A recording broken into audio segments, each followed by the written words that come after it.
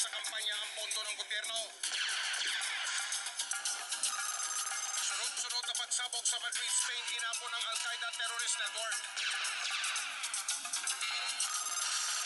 Sa ikalawang araw ng investigasyon ng Special Board of Marine Inquiry, mga crew ng Super Ferry 14, umamin na nagkulang sa tinatawag na emergency measures ang WGNA nang masunog ang barko. Pakiside trip sa bundok ng Sierra Madre sa Isabela.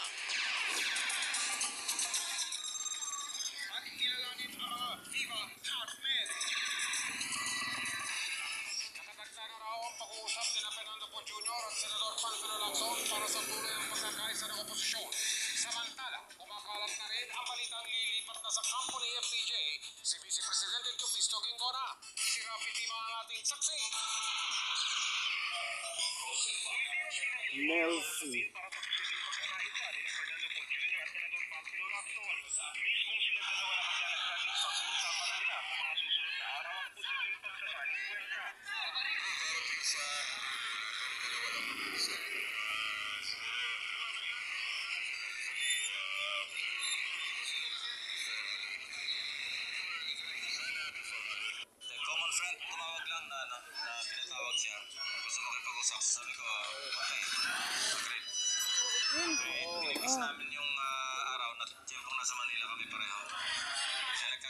Manila ako ngayon hanggang Tuesday.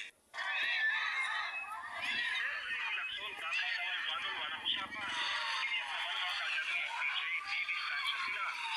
Definitely, um, if there are talks ongoing, it is going to be between FPJ and Aray ko! Ang dulas pala dyan. Madulas. Nadulas, nadulas. Kaya nga gusto ko magsapatos, madulas. Nadulas. Buka doon pa ako. Eh, hindi ka nagsuot ng mga sapatos. Paano gagawin? Medyo ano, basa kasi sinilas mo. eh. Ka.